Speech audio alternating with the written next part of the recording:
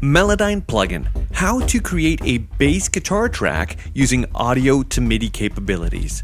Here, we'll take a look at how to create a bass guitar track using Melodyne's audio to MIDI from an alternate audio source.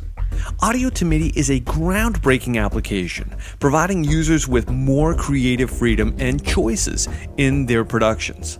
Let's check it out. Here, I've opened a demo session file in Pro Tools. Let's take a listen.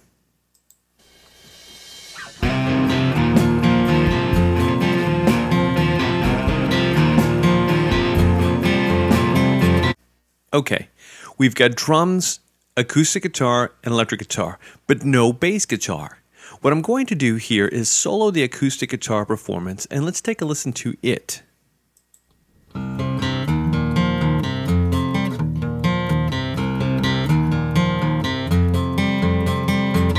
Okay, what we'll do now is insert Melodyne on that track and convert it to MIDI data. Then we'll import that MIDI data and we'll edit it, thus creating a bass guitar performance from this original acoustic guitar.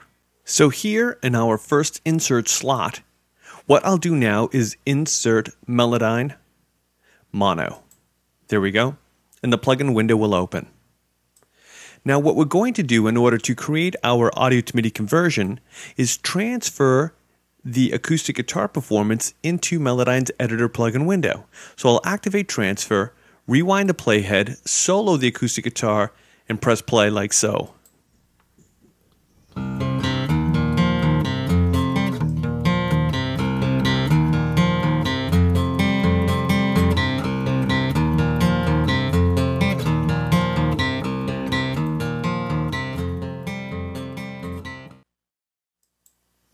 There.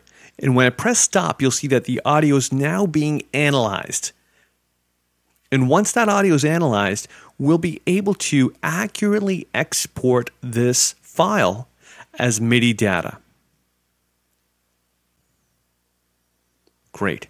Now you can see that Melodyne analyzed it uh, under the algorithm as a polyphonic performance, which it is. But what we're going to do now is convert it to melodic this will make it more linear and note for note, and it's going to be a better accurate representation for the bass guitar performance, which we're hoping to achieve.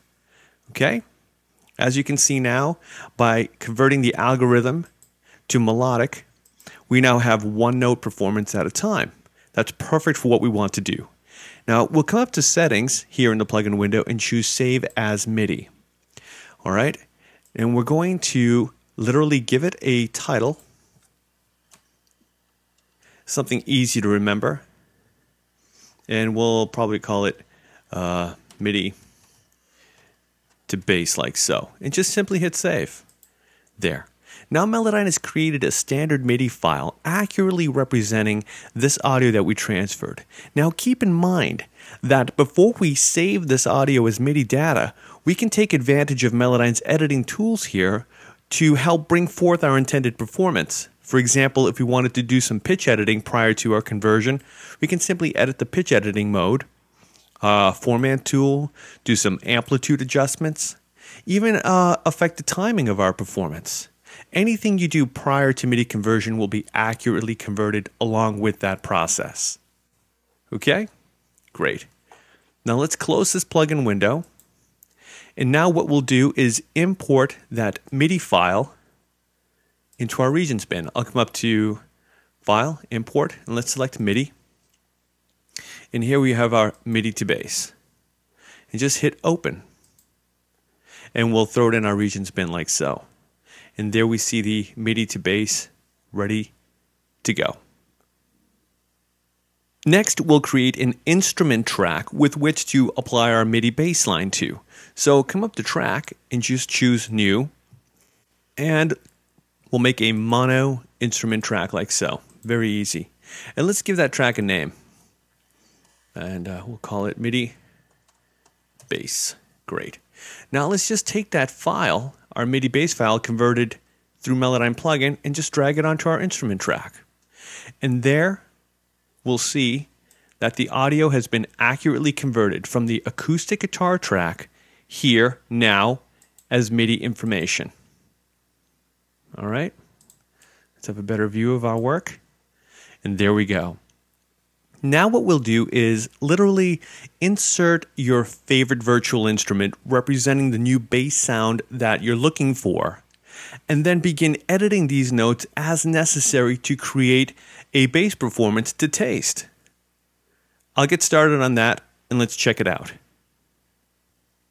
Okay, now as you can see, I deleted and rearranged some of these new MIDI notes that we created from our conversion to create a bass guitar performance to taste.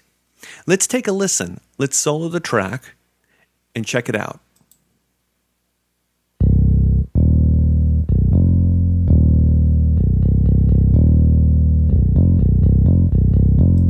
There. Let me switch it to regions so we can have a better look at that. Now remember, this MIDI track, this new bass track, is originally tr- from the transfer of the Melodyne plugin here in Pro Tools that we used. Let's take a listen to the entire arrangement now with this new bass guitar included.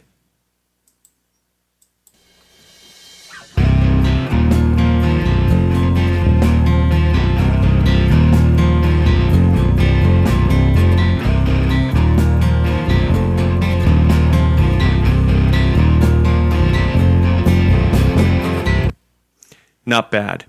Now you can further go in and edit this or even print this to a new audio track if necessary, or just leave it like this and continue working with your mix. The whole idea here is to showcase the creative potential and possibilities using Melodyne's plugin window and audio to MIDI conversion for creating brand new instrument tracks, whether for just demo ideas or to actually use in your productions. So again, thank you for watching. My name is Carlo Libertini.